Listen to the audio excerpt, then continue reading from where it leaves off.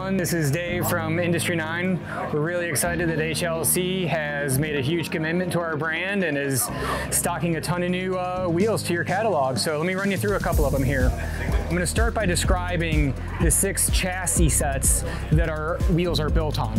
So starting with our biggest uh, hit, most aggressive wheels, those are going to be built on our Hydra 32 hole system chassis. So this is where you're going to find wheels like our Enduro 305, for example. It's using our Hydra drive mechanism, 32 straight pull spokes, 16 on either side, and a full range of uh, free hub body and axle spacings. Enduro Enduro 305 is going to live in this. So is your Trail 270. Just our kind of great chassis for any kind of big hit or heavy duty applications. Next in our Hydra chassis lineup is our Hydra 24 hole system chassis. This is going to be more toward uh, trail riders and XC riders. We're using a 24 spoke configuration here laid out in a two to one arrangement. So we have 16 spokes on one side, eight on the other. And that's going to be 16 spokes on on the disc side front, 16 spokes on the drive side rear.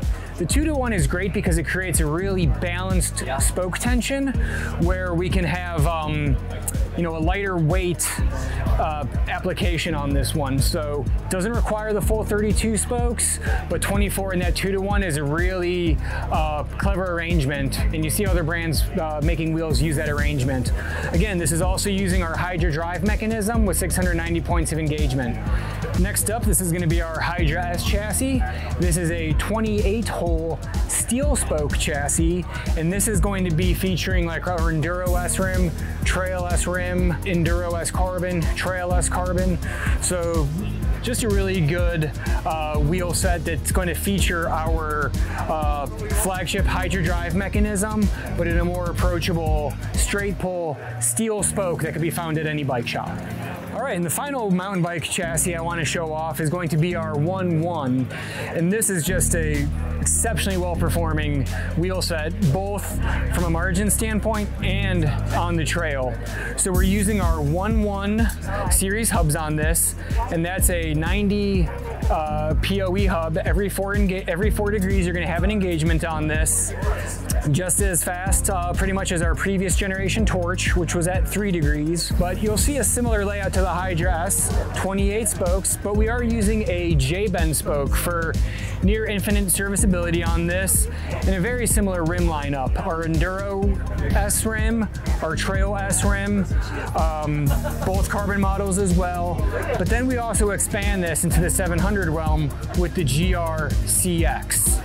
Our flagship drive mechanism is called the Hydra, and you'll see that this is a six pawl mechanism, but instead of having a phasing that has multiple pawls engaging at a moment, you have a single pawl engaging. Now right now, the three o'clock pawl is engaged, but the pawl that follows it in our engagement sequence is just slightly clocked. So any bit of pedaling input, drive, uh, you know, input is going to force that pawl into the drive ring and also this pawl behind it.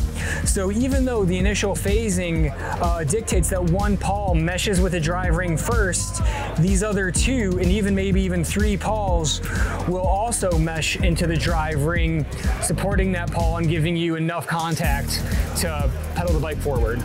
Showing off our Hydra classic flange tub here. This is going to be using our flagship Hydra drive mechanism, 690 points of engagement, uh, pretty much every half a degree.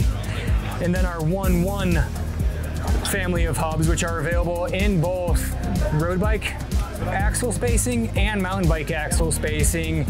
And this is gonna have 90 points of engagement every four degrees.